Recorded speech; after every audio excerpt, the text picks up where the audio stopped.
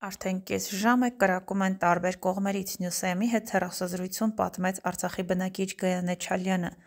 Նրա խոսքով Ստեփանակերտցիները կրկին մտել են նկուղներ։ Ժողովուրդը պանիկայի մեջ է, ով մեքենա ունի հասնում է օթանավակայան։ Մենք չունենք մեքենա, մտել ենք նկուղ, սպասում ենք։ Ասում են մտել են, կրակելով գալիս են, 9-րդ դպրոցի մոտ են։ Ուզում են դրոշը բերեն դնեն Ստեփանակերտում կառավարության շենքի վրա։